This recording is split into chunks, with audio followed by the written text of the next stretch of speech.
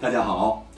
这两天啊，网友呢花八万块钱啊拍下椰树三十秒直播蹦迪跳的事情呢，是引起了极大的轰动。很多人都觉得啊，说虽然椰树呢本身啊直播宣传自己的椰汁和矿泉水的效果呢是不太好的，被质疑啊进行擦边宣传，但是呢无意间啊却闯出了一条新的致富之路。如果说啊这种红火的局面啊能维持下去的话啊，说不定呢下次啊就能拍卖到八十万。真的会这样吗？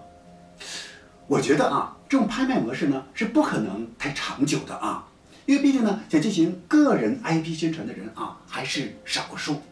而且呢，如果说价格啊要的太高了，那可能呢，这些人还是舍不得花这个钱的啊，因为毕竟啊，很多愿意花钱买宣传时间的啊，大多属于公司行为，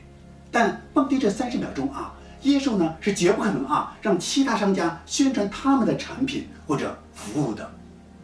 所以我觉得啊，椰树呢还是不要拿这个蹦迪的时间啊来赚钱，而是呢要舍得投入啊，每次直播前呢都悬赏，让更多的啊会跳舞的网友呢来报名参加蹦迪，这样的话啊就能找到全国最好的舞者，同时呢能吸引啊更多的人来参与。这就会在无形间啊，给自己的直播呢带来巨大的流量。